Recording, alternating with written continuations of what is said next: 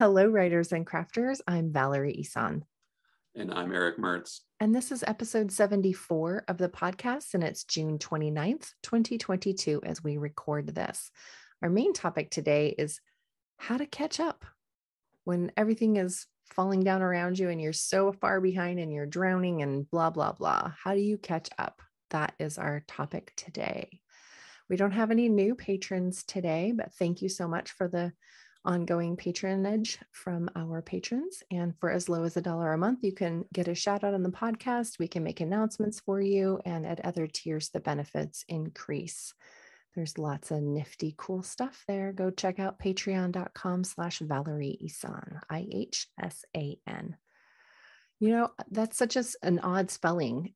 Um, I mean, it's not English, it's not American. No. So but it's I, I don't see that it's that difficult but the the typo that happens very frequently for that name is um, the s and the h get swapped i was going to say it's probably an autocorrect thing right i mean i don't know Sean is not letter, a word either. So. right, right. Every five letter word that I see now just is a wordle word. And I, when the, you said it at one point, I'm like, I, can I putting that in?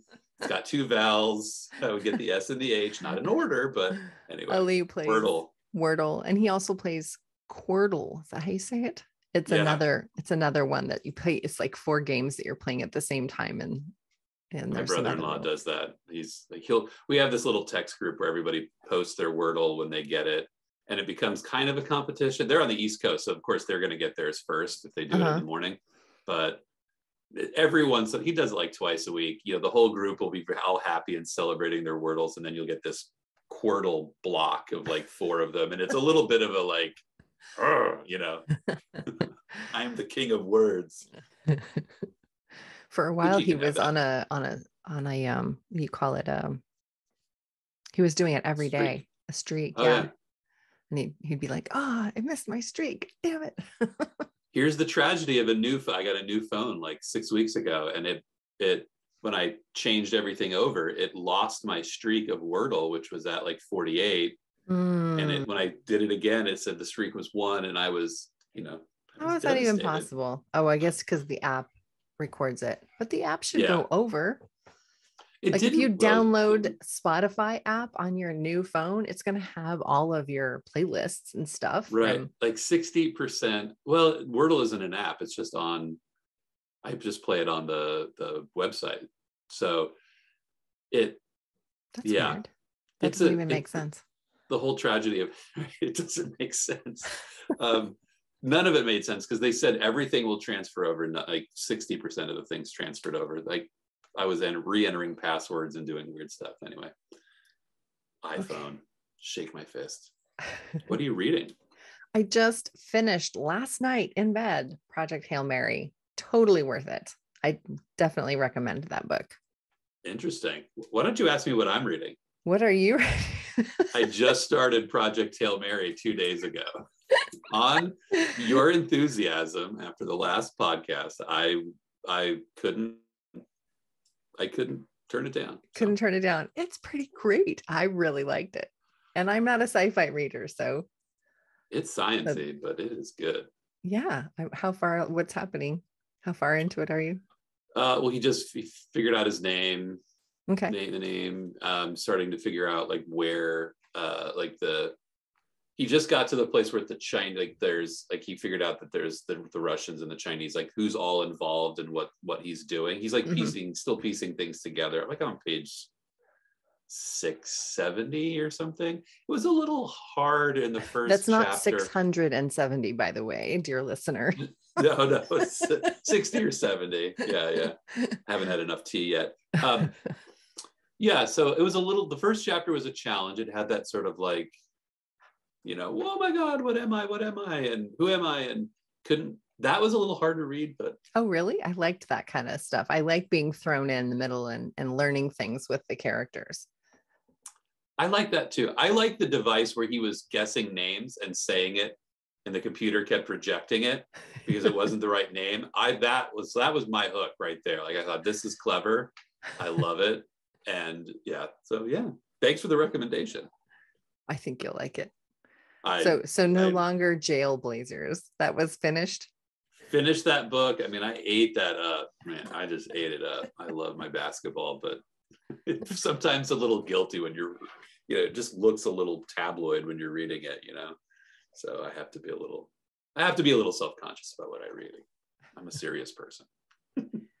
so I have not yet started Actually, that's not true. I am also reading that Craft in the Real World book for a book right. club, but I'm not really into it. It's pretty academic, and I don't jive with that academic lingo so much. So, so um, quick and quick and dirty definition on your part. Difference between like a craft book that's accessible and a craft book that is like academic. Like, do you do you have like a do you have a certain element in the book that you draw the line where you say this is too academic or is it just a just feel? the it's just the language I think that the that the author is trained is using, and yeah, I guess it's just the language. That's what makes it accessible to me or not. And that's Got true it. of any book, any novel, any nonfiction book, any, you know, because I first am interested in a book based on the topic. Right. Um, and so I, or the, you know, the book jacket.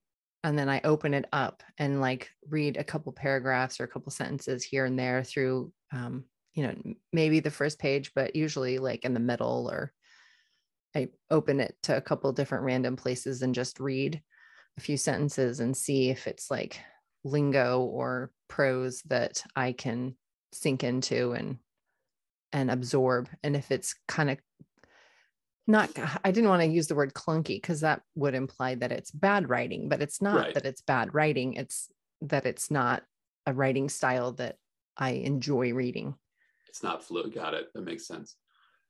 I Interesting want... that you br- bring up the the reading around. I always investigate a book. You know, I read the I read everything, and when I picked up uh, Project Hail Mary, the inside I have the, the hardback of it. Thank you to thank you. Shout out to my mom who gets those from the library bookstore. Uh-huh. Um, in the inside, it, it, had the character's name like on the inside. I thought, oh, okay, well, the mystery of who who this person is, like it's it says Ryland Grace. Oh, spoiler to anybody that might read it the doctor you know.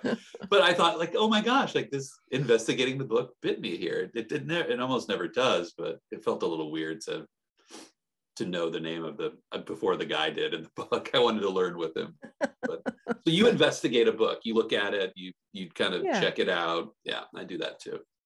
Usually um so when i go to powell's i get a basket and I spend a couple time. of yeah, I have to spend a couple hours there. If it's only an hour, then I'm like, I can still do it, but it's a it's an aborted mission, you know. So right. I I'm going through and I'm just kind of loading up the basket with stuff that looks interesting via um, the book jacket, really, and right. the title and the topic and and throwing them all in. And then I go to the mark to the cafe downstairs or upstairs, or I forget where it is actually. Upstairs. So I go to that cafe and I get a coffee and I sit down and I start um, doing that more investigative, yeah, you know, work. Familiar. And then whittle it down because usually there's hundreds of dollars worth of books in the basket and I try to whittle it down to like 80 or something. Right. So that's the question. Hard. Do you go into Powell's with a list or a budget? Um, oh, they're so, they're so li- each are so limiting, right? You don't want either one. I was gonna say neither, but you are chaotic. It's more of a feel. I, I am. Yeah, oh, that's good. So in terms of next books up, you know, I don't know. This is the stack as of the morning, you know, of of June 29th. So this may change by tomorrow, but um I have an arc for The Book Woman's Daughter by Kim Michele Richardson. I don't know if you can oh, see this because I can't see my I can't even see my my camera is covered. covered. Um Another so printed wrote, art. Well, I got to get in on this bookstore thing. the Book Woman of Troublesome Creek is the first one, and I really loved that. That was a historical fiction, 1930s Kentucky, Appalachian. Um, it was based on the Packhorse Library route Hmm. Back in the days when when um, these librarians would ride their horses with their bag of books to all the rural poor folk that couldn't get in to libraries or whatever books and and would loan out books and they would have a route and and she was the um one of the last remaining blues of Kentucky.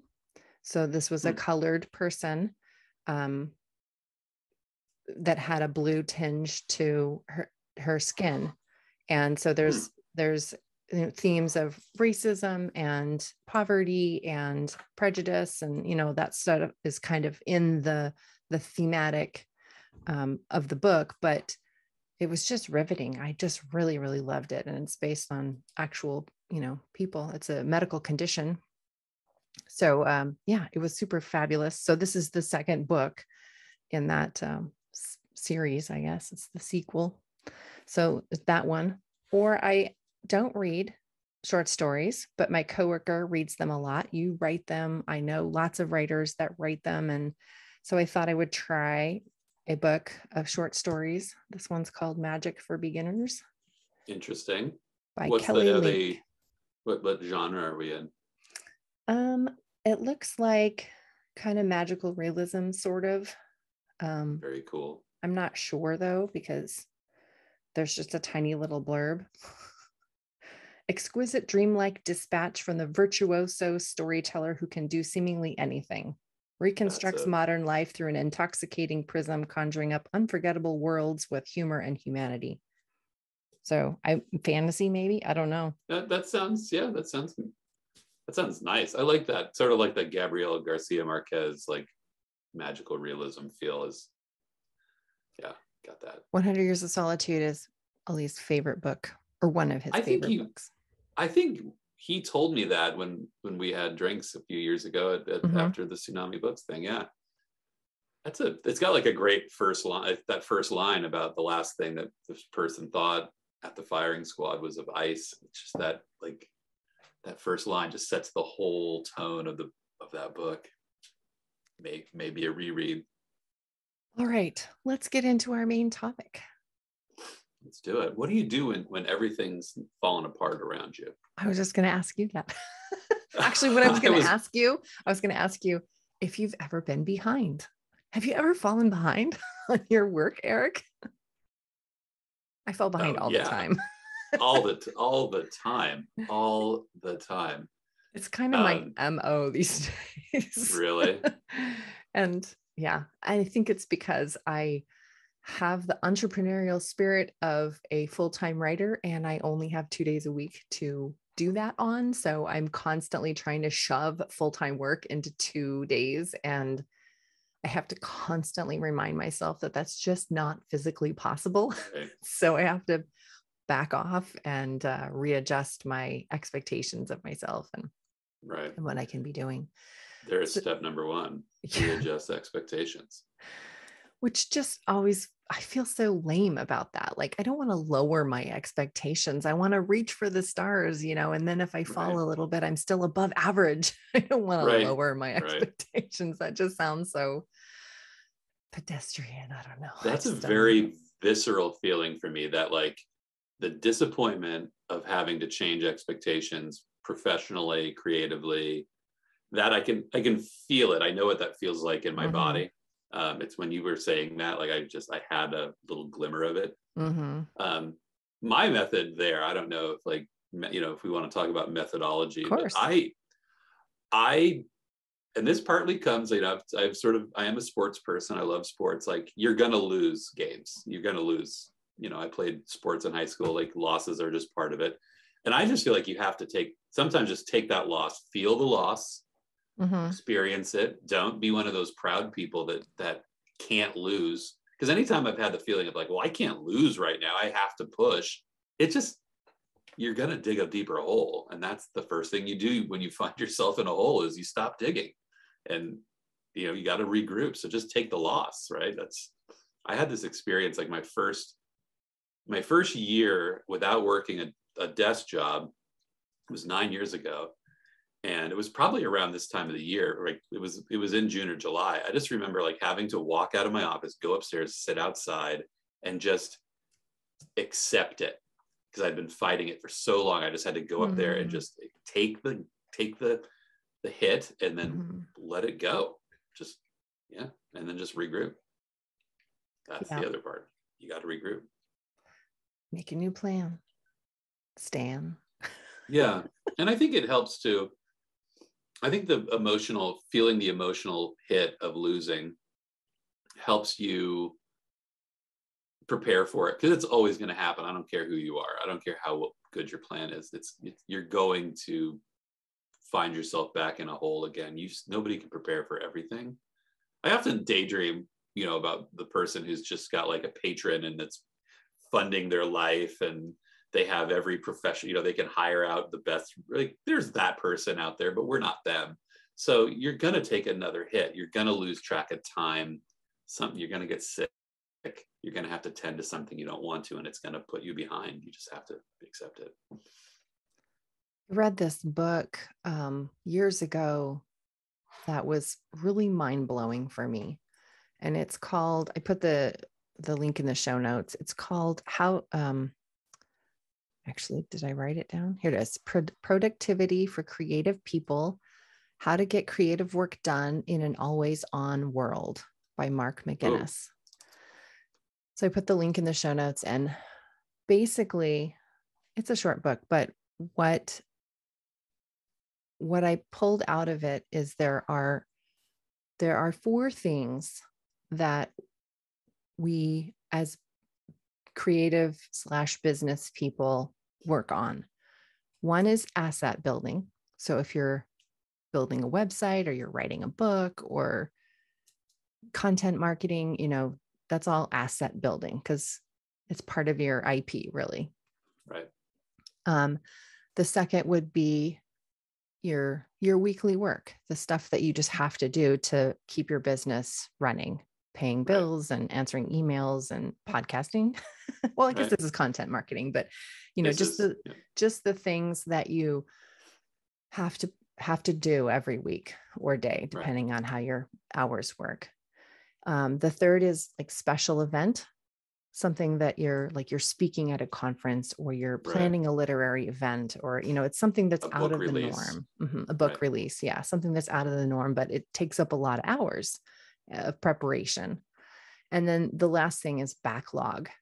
And so that's the catching up of stuff. So right. for instance if you are if you are doing your special event planning then the time that you would spend on that you can't also there's things that are going to be left undone so there'll be a time when you have to go back and and catch up with with with right. that stuff and i had never looked at it as a separate task it just became like this never ending to-do list that never got done and i never got to cross it off and it just felt like continual failure every day right I know that. So, yeah, I hear you.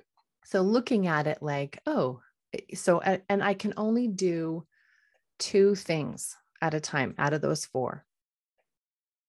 So you can do your weekly work and you can build an asset, or you can do your weekly work and plan a special event, or you can do your weekly work in your backlog. I love that you're always adding weekly work in there. Well, you know, otherwise it becomes backlog.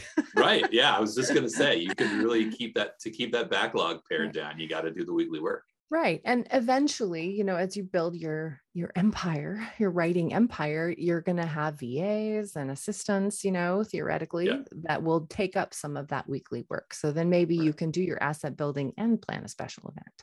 Right. And you won't have the backlog to deal with because somebody else is doing the weekly work.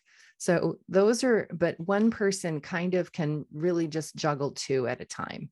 Right. And that to me was, I don't know, it was just so mind blowing. It was such a different yeah. way of looking at all of the things and how to manage them.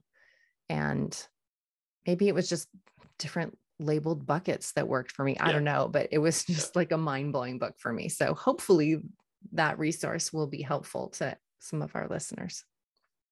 You know, and after I had that first initial I don't want to call it a breakdown because I didn't really break down, but like I had that, like I described earlier, I just had to walk away and, and take the loss. I developed a theory for myself.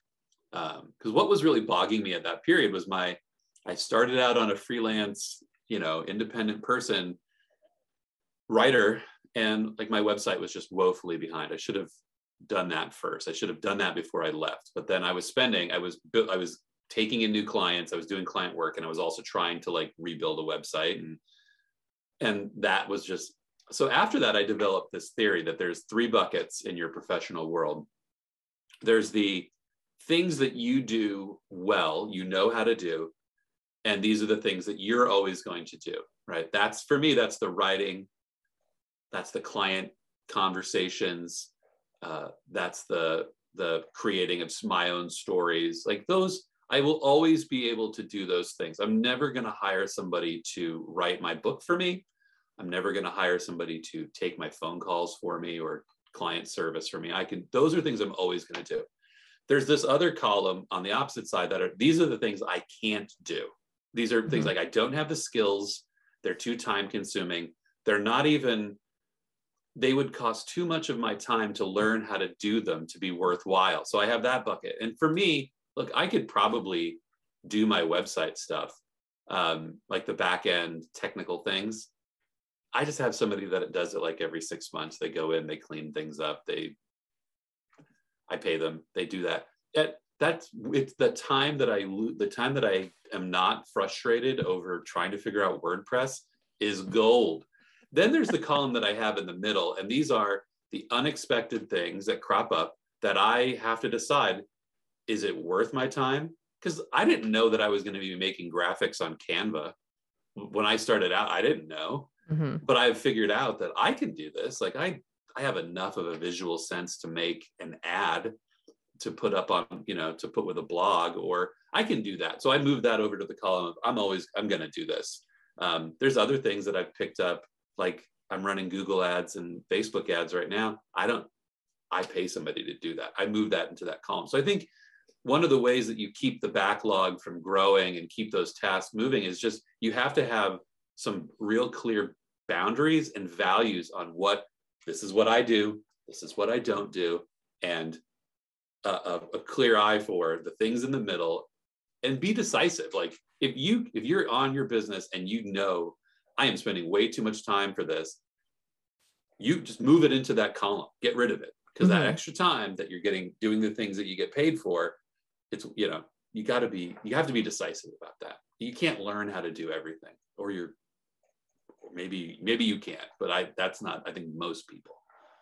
I was listening to a podcast last week, um, author like a boss with Ella Barn- Barnard. I never say her last name right, but she was interviewing Willow. Oh my God, I'm forgetting all the Willow Winters, who's this like That's a great name.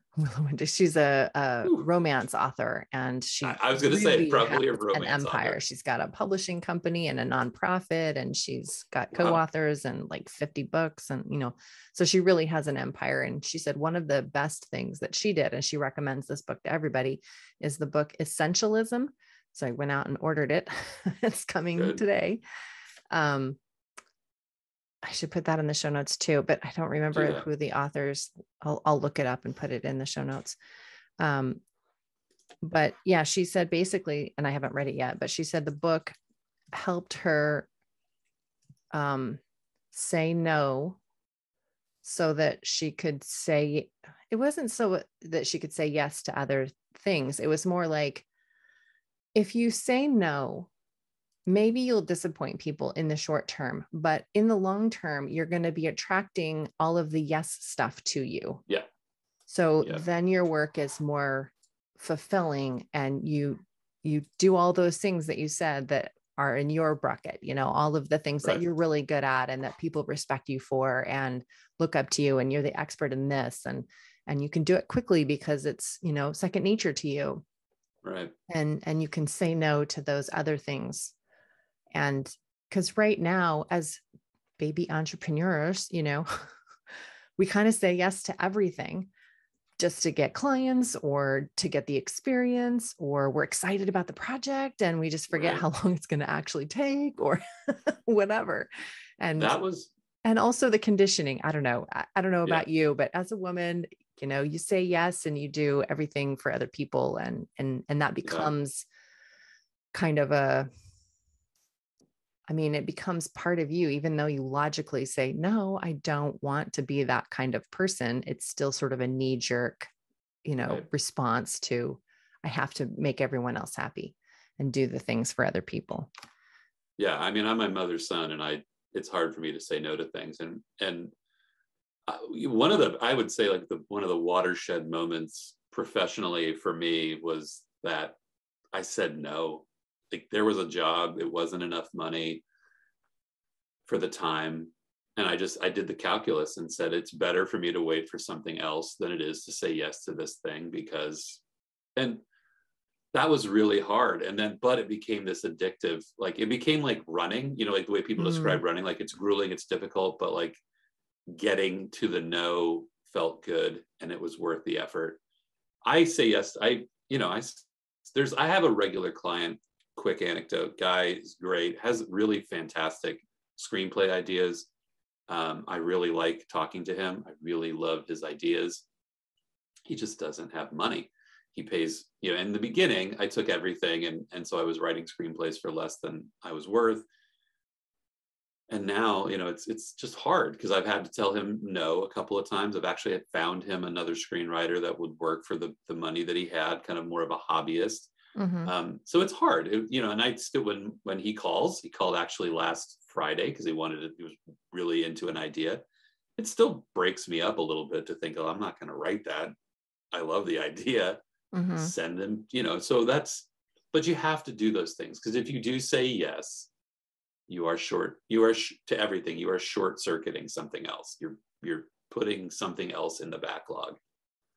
Yeah two things that came to mind when you said that was one if you do feel like and i'm and i'm not saying you should do this with this gentleman but right. in your business if if an entrepreneur feels the need to scholarship someone or you know heavily discount their services for someone you can build that into your business philosophy yeah.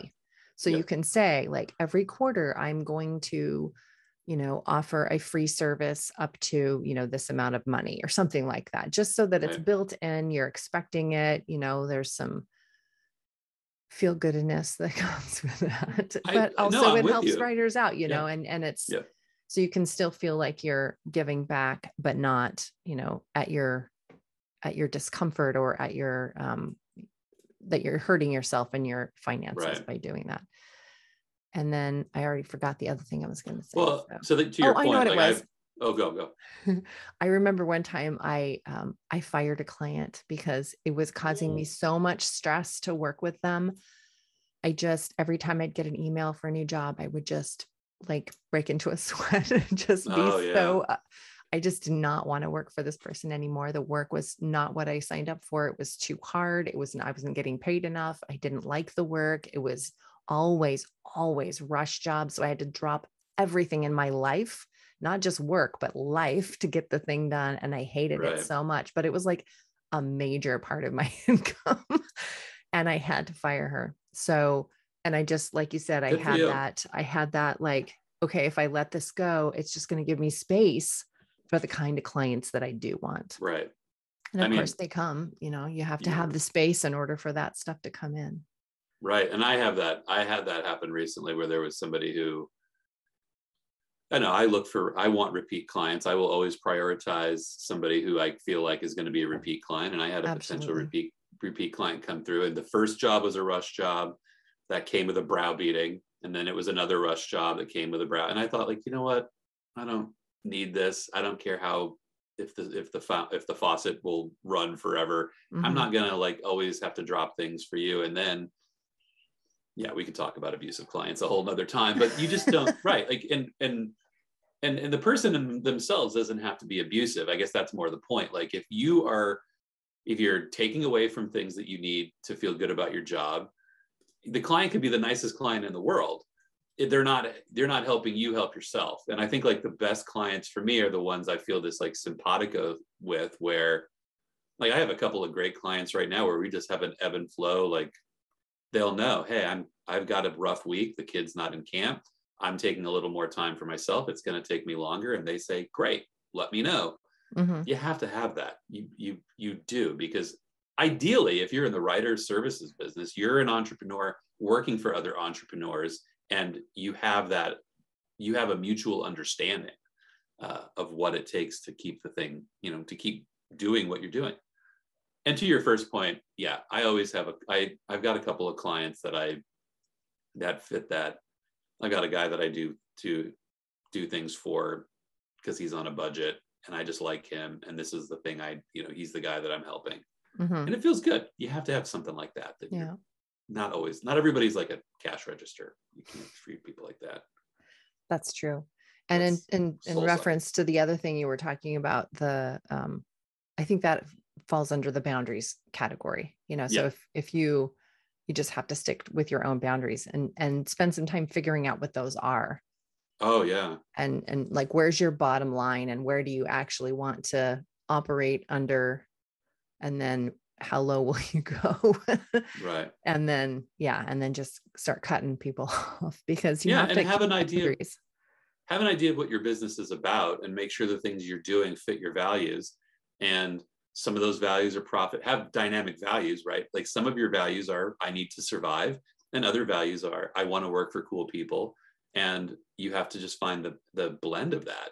And if you're maximizing your time and energy you can you can accomplish that. It's just it takes practice. It's not you're not going to get it the first shot through. That's true. Okay. time. so how to catch up when you've fallen behind um stop digging nutshell. when you're in the hole. Stop yeah. digging. Stop. Just accept the loss and stop. And and also treat backlog as your job you know like if you have fallen so far behind you know you can just make that be your next project is just to catch up. I mean sometimes that happens naturally when you come back from vacation or something like that and you just spend the day like reading all your emails and like right. responding to stuff that happened while you were gone. Um, and i think having having a morning routine or or some sort of routine that gets you into your flow state is good to like power you through. If i've got too much on my plate sometimes i have to just completely let go put the blinders up and just start walking you know one foot in front of the other. What's right in front of me? Let's just do this. Let's just do this. And and just start digging you know until yeah, it's yeah. done and then make a plan to not do that again you know or double my estimation on how long things take and right those are all all, all tools that i use reset my strategies also yeah, don't have don't have a plan that's so rigid that you, it can't like the first thing that tests it makes it fall apart you have part of your plan has to be flexibility and it has yeah. to be it has to be responsive you know? It just it can't be all strength. You got to be flexible too. Yeah absolutely. A parting thought? I heard on a podcast yesterday um, cool. diary of a ceo i think was the one i was listening to. Um, there was a quote that just sort of like blew me out of the water and it said our job is not to be the best which is mind-blowing all in right. of itself because you know i kind of feel went, like that is right. so our job is not to be the best it's to do your best. Oh boy. So i'm going to say that three times today. that felt really good because you can yeah. only do what you can do and sometimes your best is different every day. So if you just show up and do your best then then you're you're doing your job. That's golden advice the world does not give very often. I love it. Thank you for that and a similar one, actually, that I use frequently, if we're talking mantras as we end the conversation, is um, Tex Thompson. Do you remember she comes and talks oh, at? Uh, she's awesome. Tex. This she's writer from Texas. She always wears the red shirt and the red hat, and she has a great newsletter. So if you want to, oh, I was just going to say the best newsletter ever. ever. Like all the locksmithing stuff and the the she's great. Yeah. Yeah. So one of her newsletters a couple years ago, and I still use this she was just talking about, you know, sometimes all you can do is hold the line, you know, when you're yeah. talking like military or something like that, where yeah. you're just holding the line and just not letting anything get past. And sometimes you can't advance, you just don't have it in yeah. you for whatever reason. So if you can just hold the line some days, that's all there is. And I took such comfort in that. And, you know, it's oh, almost become it. the mantra. So when I'm having a really bad day, I'm like, my weekly win is I've held the line. Like, right. Right. and I am proud of that. That's a great mantra and it's a good one to end on. Yes. Thanks for talking with me, Erick. This was a really comforting conversation, actually. Great. Thank you. Yeah. so, our next episode is either a coaching session with Erick. As you like, I don't want to do that online. I do. I do. I just want to be like, well, yeah, we should have a conversation before we do that. I don't, like I said, I want to, I might like lay on a couch like we're in a, in a therapist's office or something for that one. Or we can talk about marketing. Ooh let's let's dissect me. Like let's put market marketing is so like i feel like if the longer we put off marketing the more we'll know about it so we might as well just put it off forever. Is that bad? No not at all. I would love okay. to to uh, start a coaching session with you. I think that let's would be, do that. Next week we'll do a coaching good. session with me. All right. That sounds excellent. So see you next time writers and crafters. Keep writing and have a great week. Hold that line. great week. Hold it. bye bye. Bye bye.